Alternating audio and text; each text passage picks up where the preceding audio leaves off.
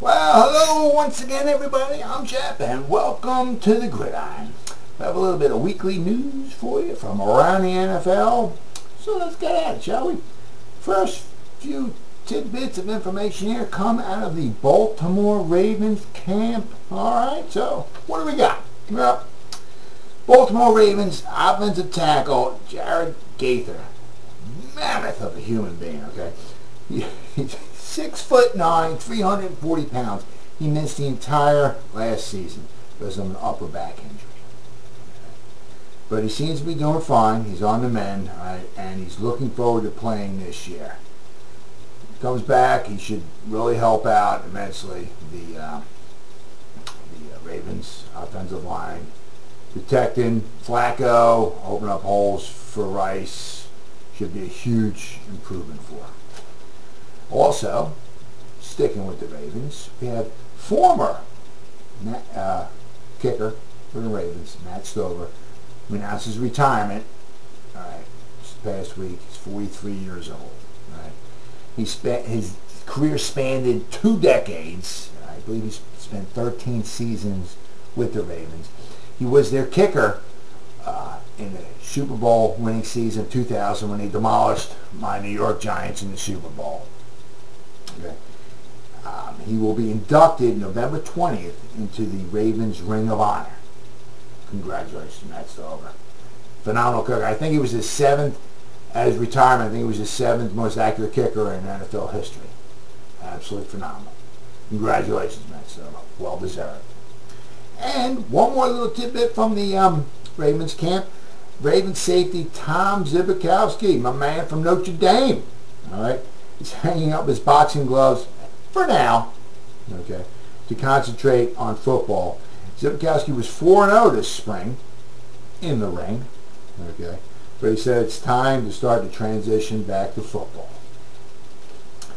Now, going to the uh, Indianapolis Colts camp.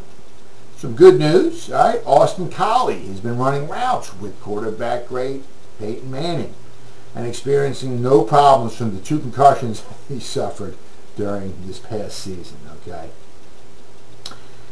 Collie was injured three times this year. First time was, okay, uh, game October 17th against the Redskins. He injured his thumb. Came back from that. Then on November 7th, he sustained his first of two concussions against the Philadelphia Eagles. He missed a little bit of time. Came back and then received the second concussion of the year on the December 19th game against Jacksonville. Boy, that'll, that'll really that'll really be huge for the Colts. Hopefully, Collie's a phenomenal talent. Hopefully, he stays healthy and watch out.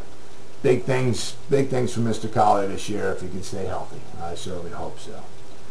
All right, and we got in the, of course, the weekly in what were you thinking category. All right, I, I, I love this. Former NFL quarterback Kordell Stewart has been charged with driving with a suspended license. Stewart, 38 years old, was booked into jail Wednesday in the Atlanta suburb of Alpharetta, okay, and on of a speeding charge. He was freed on $3,000 bond. What else there? What are you thinking? And a more touching note, Braylon Edwards, the former Cleveland Browns wide receiver, okay, has made good on a promise he made a few years ago about sending 100 Cleveland area students to college. Edwards tweeted that as a man of his word, he was honoring his commitment he made a couple of years back, okay, by paying for the tuition of 100 Cleveland area students college tuition. Okay, it's going to cost them about approximately about a, a million dollars. All right.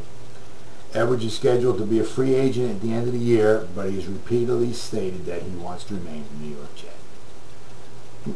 Braylon Edwards, very touching, very touching. And finally, okay, we have uh, Bill Belichick, the great coach of the New England Patriots, gave the commencement address to 127 outgoing students at Suffield Academy in Connecticut.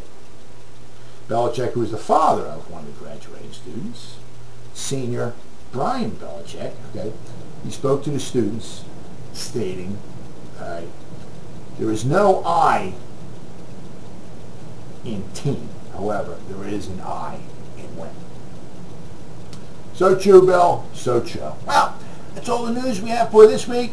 Next time I come back see you in another week. Sure, I'm going to have some more news for you. Hopefully it'll be the end of the lockout. But we can only hope, huh? Well, once again, I'm Jeff. Thanks for watching. And remember, we're going to see you on the gridiron.